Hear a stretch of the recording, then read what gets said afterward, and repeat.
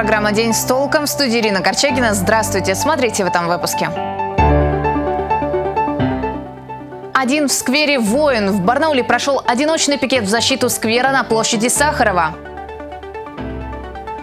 Семь туристов застряли на канатной дороге в Белокурихе, среди них десятилетний ребенок. Барнаулец в одиночку ремонтирует дороги. Кто этот герой, смотрите через пару минут. Молоточек, мастерок и верхонки. И все. Сегодня в Барнауле прошел очередной одиночный пикет в защиту сквера на Сахарова, где планируют построить крупный гостиничный комплекс «Редисон». Провела его вновь Татьяна Труфанова. Жительница Барнаула уже выходила с плакатом в эти выходные. Продолжит моя коллега Анастасия Дороган. Примерно час Татьяна Труфанова простояла на углу Социалистического проспекта и улицы Молодежной. Прохожих в это время было немного, не все даже поворачивали голову к плакату. Татьяна считает, это происходит из-за неверия людей в собственные силы, поэтому она написала именно такой текст. Кстати, менять место пикета на другое, более людное, женщина не собирается. К примеру, отвергла предложение встать у городской или краевой администрации, так как это не политический вопрос. И все-таки некоторых пикет привлек. Один мужчина даже поговорил с Татьяной.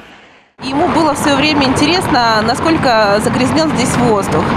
Он взял специальный прибор и измерил. Четыре с половиной раза превышает уровень КПД в четыре с половиной.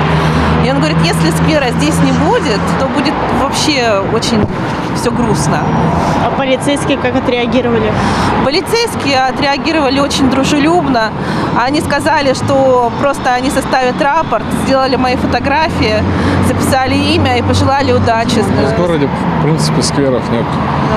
Мало. Даже желательно побольше. Парков, скверов побольше. А вот Галина Абрамова живет рядом со сквером. Она считает, если появится гостиница, жильцам ее дома негде будет даже прогуляться. Кстати, бороться за сквер эта женщина начала еще летом. Пошла по гостиницам, спросила, как у вас заселяемость. Они говорят, на 30% всего заселяемость. Собирается гостиницу строить, в гостиницу. Потом прошла по всем инстанциям, хотела пройти туда, протолкнуться. Там записи нет у Томенко. У него в сентябре не было, и в октябре нету записи. Туда нырнуть мы никак не можем. Она же сообщила, что в выходные был еще один одиночный пикет. За сохранение сквера выступал мужчина. А сегодня Галина Абрамова сама поддержала Татьяну Труфанову. Позже плакат взяла еще одна жительница Барнаула. Продолжит ли Татьяна сплачивать людей ради сохранения сквера, она пока сказать не может. Анастасия Дорога, Николай Шелко. День с толком. Семь туристов застряли на канатной дороге в Белокурихе. В воздухе им пришлось провести три часа. ЧП произошло накануне. Канатная дорога на туристической базе «Благодать» остановилась из-за падения ветхого дерева, сообщили в МЧС. В это время на ней находилось семь туристов, в том числе десятилетний ребенок. Они застряли на разной высоте, места труднодоступные. Осложнял операцию снег, поэтому спасателям пришлось пробираться пешком. Первую партию двоих взрослых и ребенка спустили на землю через полтора часа. Чуть позже спасли спасли остальных. Туристы не пострадали, но очень замерзли. На месте происшествия работали 18 человек. До 24 октября из-за риска схода снега работа канатной дороги приостановлена. А между тем в Барнауле дорогу уже делают вручную и в одиночку. В соцсетях появился пост благодарности мужчине, который заполняет дыры в асфальте и сооружает парковку. При этом обходится пара инструментов, а сами работы не стоят ни копейки. С новым героем, который нужен этому городу, познакомилась Анастасия Дороган молоточек, мастерок и верхонки. И все.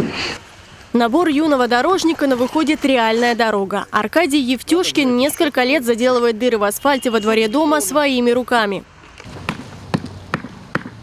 Исходный материал – бывший асфальт. Спросите, где он его берет? Во дворе его дома летом меняли теплотрассу, вскрыли дорогу. То, что должны были выбросить, мужчина выпросил себе. Ему еще и спасибо сказали. Мастером работы, так сказать, это сам, найти общий язык.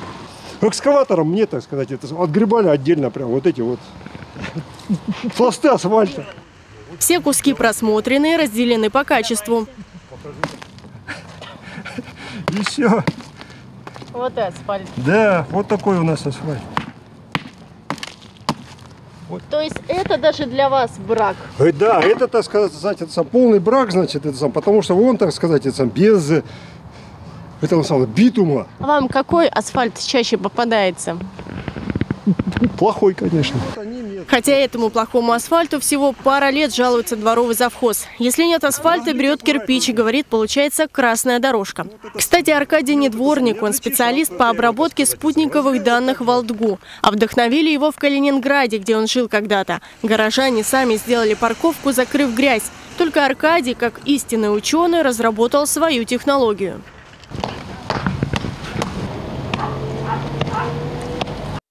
На его счету уже четыре парковки на 5-7 машин и несколько заделанных ям. Под его кураторством пар домов и еще несколько просится. Работает мужчина рано утром или вечером, как сейчас. Все в одиночку. Говорит, люди реагируют по-разному, но поддержка есть. От бабушек и, конечно, владельцев машин. Ну, как счастлив? Ну, Или все равно, как на работу ходите на эту работу? нет, ну, спортивная нагрузка. Анастасия Дороган, Александр Антропов. День с толком. Село Полуямки Михайловского района вошло в рейтинг самых веселых названий населенных пунктов. В десятку лучших также попали села Колбаса, Печень и Хохотуй. Возглавил рейтинг село Мутный Материк, оно находится в республике Коми. Из-за того, что победить не удалось, в Полуямках не расстраивается, ведь теперь село стало известно во всей стране. Чему радуются и о чем грустят местные жители, расскажет Валентина Аскерова.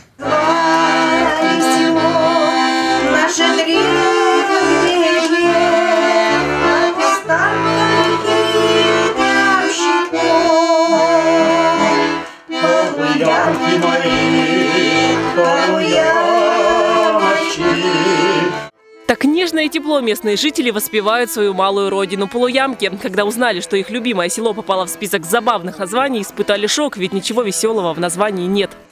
Название произошло от э, слова э, полустанок. Здесь проходил Ямщицкий тракт между Колыванью и Томском. И на э, Ямщицком тракте были большие станции, называемые ямками, ямки. И были малые станции, полуямки, полуямки.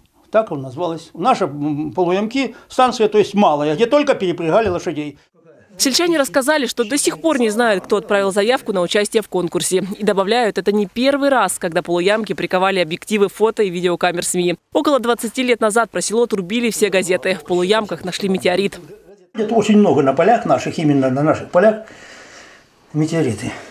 Сейчас метеорит с одноименным названием села хранится в Москве в Академии наук. Местные жители говорят, что в селе до сих пор находят осколки метеорита. Кстати, в этом году полуямки празднуют юбилей – 150 лет. Вехи истории хранятся в школьном музее. Все стало забываться. Им нравится сюда приходить сюда в музей на любой перемене, если открывать его постоянно. Здесь постоянно приходят ученики, интересно. Здесь можно все трогать. Это церковь, это ну, наподобие, примерно такая же была в Полуямках стояла церковь. Ее в Борфорпосте купили, в складчину перевезли, поставили. Жители, конечно, порадовали, что село вошло в список смешных названий, но добавляют, все бы было смешно, когда бы не было так грустно. Их родина разваливается, признались люди. Население редеет, молодежь сбегает в большие города, где есть стадионы, дворцы культуры. Здесь же одна разруха. Валентина Аскерова, Алексей Фризин. День с толком. Автомаркет «Гараж» организовал встречу своих постоянных клиентов с представителями двух известных японских производителей – «Профикс» и «Акибона». С фирмами автомагазин работает уже не первый год, так что в «Гараже» можно приобрести настоящие, а не поддельные японские моторные масла или колодки. На таких встречах у автомобилистов Барнаула есть возможность задать любые интересующие их вопросы о японской продукции. На каждый профессионалы из страны восходящего солнца дают обстоятельные ответы. За лучшие вопросы вручали подарки, аксессуары для автомобилей, моторное масло от производителей Японии и другие. Кстати, вся эта продукция в большом ассортименте представлена на полках гаража. Впрочем, автомаркет готов предложить своим клиентам также разнообразные шины, диски, аккумуляторы, автокосметику. Даже для Японии это очень большой магазин, и здесь очень большой выбор товаров. Я рад, что наша продукция здесь тоже есть. Гости, один из которых в Барнауле впервые, рассказали, что японцы обычно предпочитают заключать долгосрочные контракты со своими партнерами. Поэтому с автомаркетом «Гараж» надеются на дальнейшее сотрудничество. К тому же им понравился как город, так и люди, живущие здесь. В Сибири очень холодно, но у людей очень горячие сердца. Спасибо за это. Через несколько секунд о погоде спонсор прогноза компания «Эвалар». Подписывайтесь на наш канал в соцсетях. Итоги дня подведем вместе в вечернем выпуске.